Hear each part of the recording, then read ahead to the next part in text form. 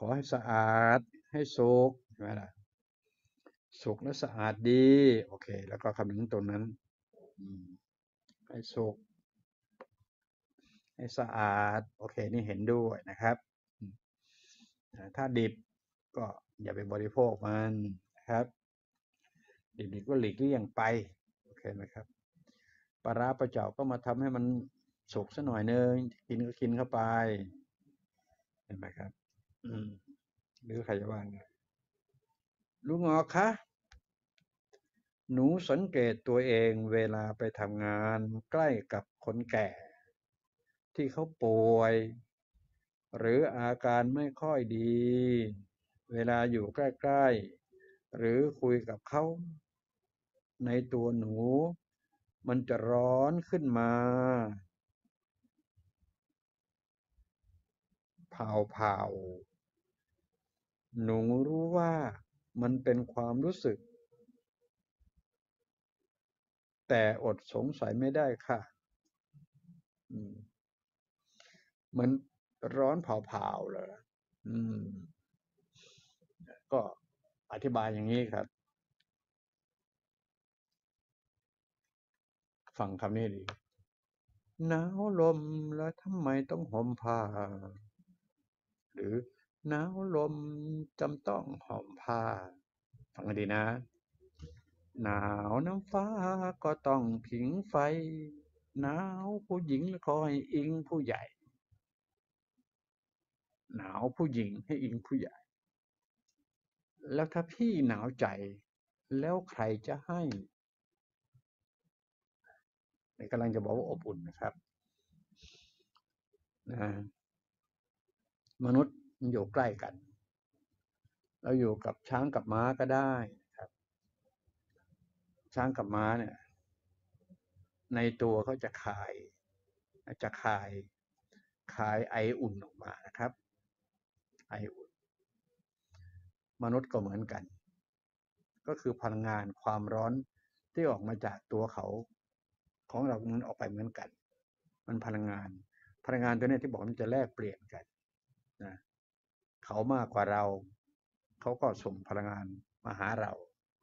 เราก็รู้สึกว่าได้รับพลังงานหรือเรามากกว่าเขา พลังงานออกจากตัวเรา ไปหาเขา เราก็รู้สึกสรุปเลย พลังงาน ถ้าตัวเรามีมาก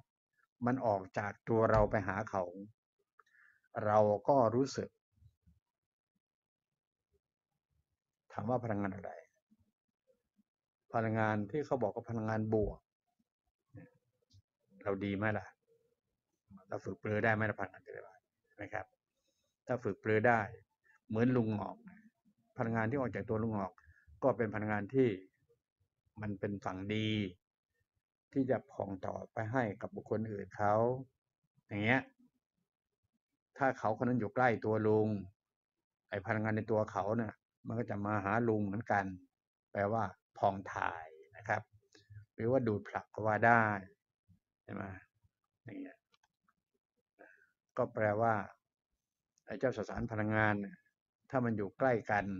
มันก็สามารถที่จะส่งพลังงานกับกันและกันได้ นี่เป็นองค์ความรู้ทางวิทยาศาสตร์นะฮะนิวตันให้ไว้กับชาวโลกนะครับตรงนี้